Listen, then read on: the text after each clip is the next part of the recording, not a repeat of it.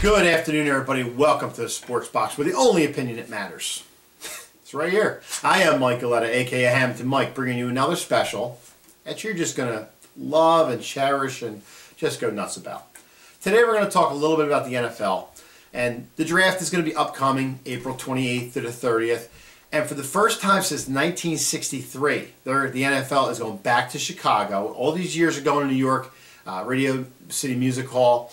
They're going back to Chicago at the Theater of the Roosevelt U, or Theater of Roosevelt U. Um, first time since 1963, they're going back to Chicago. You know, mix it up a little bit, go back there. Uh, going to be interesting. Going to try to. We're we're reaching out. We're trying to work out a deal with Chuck Donahue, who was on with me last year for the draft. We're going to talk to you about the draft special. We're going to get some good picks going. We had a phenomenal you know year last year, so we'll see what happens this year. Um, a couple notes for you. The Jets pick at number 20 just turned really interesting. Besides the draft being interesting, I mean, the first eight nine picks, once they go a certain way, it's just gonna it's gonna go ballistic. It's really interesting how a lot of teams are moving up, moving down, things to that effect. But the Jets pick at number 20 is going to be interesting now. This week, Thursday, Jets um, left tackle D'Brickashaw Ferguson announces retirement from the NFL at age 32. Here's a guy who had 167 starts, a 10-year career. Um, no injuries, never been on the injury report. I mean, that's 167 consecutive starts.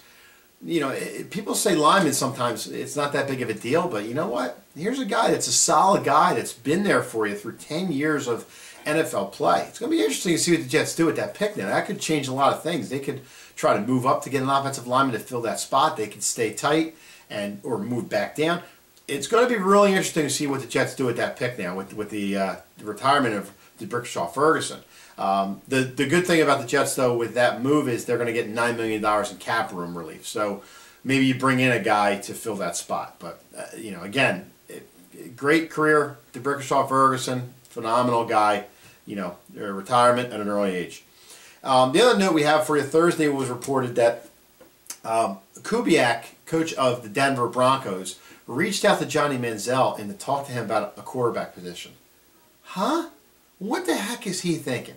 What are you thinking talking to Johnny Manziel? Now, in an interview with Von Miller, hearing this, Von Miller said if I was running the team, Manziel would have already been signed. What? Are you guys, are you guys really nuts with this? There's no way that it's it's even possible that you would think about signing Johnny Manziel. Okay? Okay, so let's go into the season with uh, let's go into the season with Mark Sanchez and Johnny Manziel. Hmm either you flip a coin or you see who's good that half an hour before the game. I, I don't understand that move at all. In any sense, they didn't sign Manziel. I don't think there's any more talks ongoing, but that that to me is just unbelievable. Even though you know we had some specials about him, this and that. Any kind of any kind of football knowledge out there with the NFL, you got to understand. Manziel is not ready for football again. Number one, he's not that good. Number two is he's got all kinds of off the field issues in the way of, uh, you know, it's reported about alcoholism, things to that effect. His whole stint in L.A. or uh, Las Vegas with with that whole gambling thing. I mean, come on, he's not ready for football right now. He should take the year off, go to Canada, tear it up, maybe even go two years in Canada, tear it up, and see where it goes from there.